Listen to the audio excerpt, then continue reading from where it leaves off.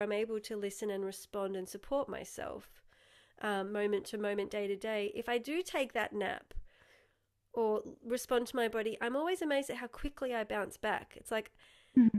because it's it's in real time and it's dynamic and and there's no judgment there, and it's sort of like oh thanks body for letting me know what you need rather than oh you know I wish you could keep up with everybody else and that that inner critic or that voice that could be berating me or bullying me I think that's a really big piece of what changes is we were able to step into saying, actually, my body's really innately wise and intelligent. And if I tune into that and listen together, me and my body, we're this powerful team.